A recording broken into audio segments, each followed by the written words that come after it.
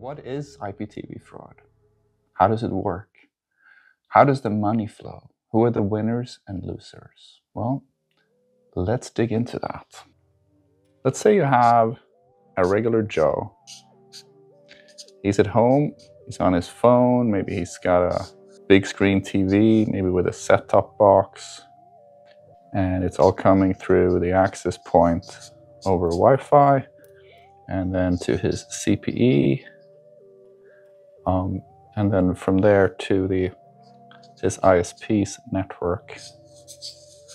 And um, then it hits the internet. On the internet, uh, Netflix has some servers, and he's currently watching Netflix. He's paying $10 a month for Netflix. He also has Amazon Prime. He's got HBO, maybe $100 in total or $200 in total. That's a lot of money. His neighbor, Naughty Phil, has a different approach. He too is watching things on his phone.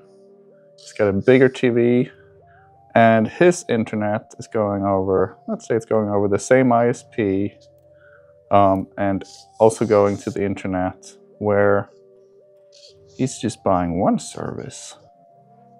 It's called Mega TV.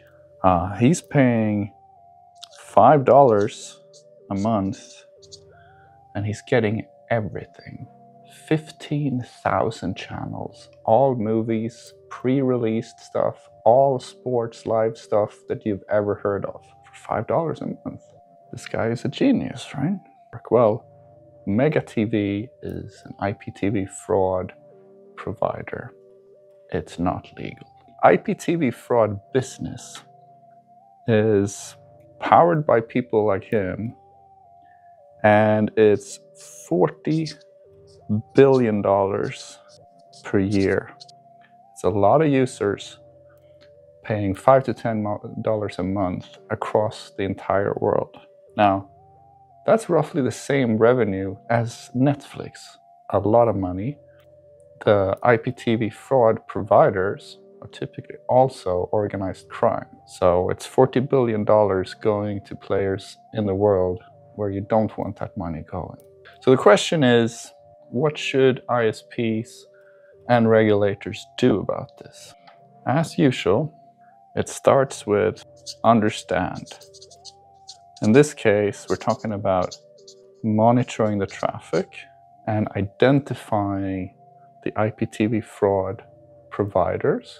And then two, take some action. That action could be to block them in the network. Probably a better approach is taking legal action against the IPTV fraud um, providers. Because who are the winners here and who are the losers?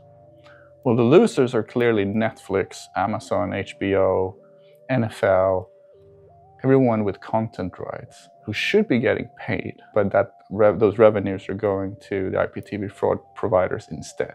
Um, that could include the telco or the ISP if they're also selling illegal IPTV service uh, for linear TV uh, and cable and sports, etc.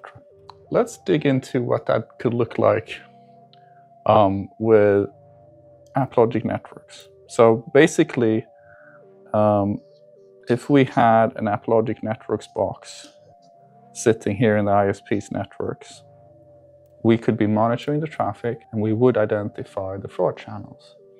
And I'll show you in our reports, in our UI, what that would look like. So in this first report, to the left here, you see the IPTV fraud channels. This, this list has them sorted by volume of bytes for three different months here in 2025. And over here, it's number of subscribers. So here, here are your, your biggest IPTV fraud providers. You can also see where those providers are sourcing their material or streaming from. Uh, where are their resources located? We can associate different IPTV fraud providers with other IPTV fraud providers or with wholesalers. It's typically a two-tier distribution model of this. We can follow how people who We're using IPTV fraud lightly, moderately, or heavy, uh, or almost not at all. How are they shifting their usage? Sometimes there are certain events like the Olympics or NFL season that drives more IPTV usage. Um, we can look at how much revenue are each one of these IPTV fraud providers earning from this particular network. And we can track how is it trending, how many people are using it daily, how many people are using it monthly, and how has that been changing over the last couple of months or years. So uh, in summary, IPTV fraud is a giant business and a big problem. And if we can stop some of it, it means more revenues going back to the telco industry and more revenue um, going to the content providers so that they can provide us with more TV series, more sports, more movies that we all enjoy. And that's how AppLogic Networks makes networks better.